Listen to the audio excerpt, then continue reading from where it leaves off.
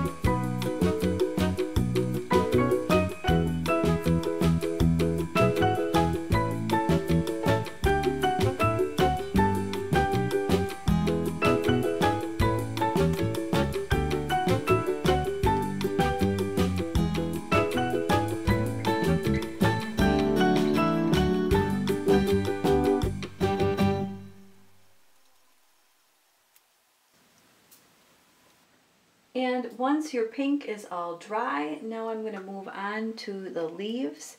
And for this particular painting, I am going to um, work dark to light because it's going to be the easiest. So dark green is going to be next.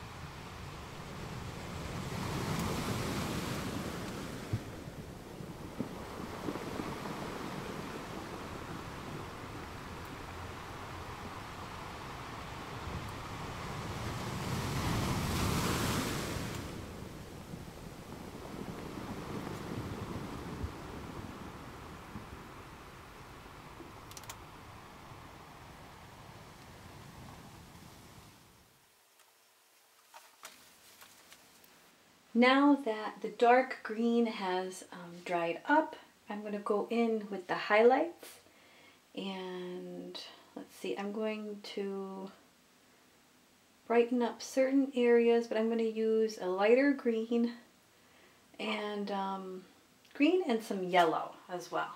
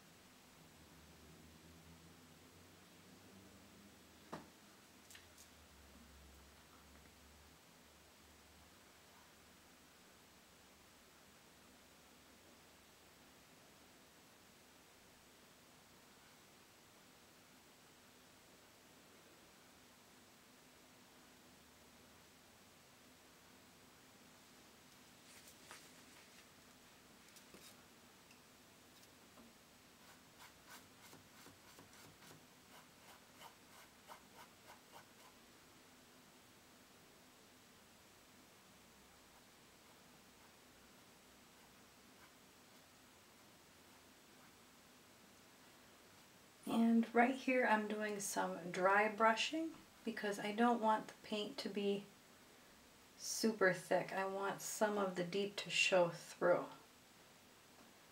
and then later on I will go back and brighten up those veins.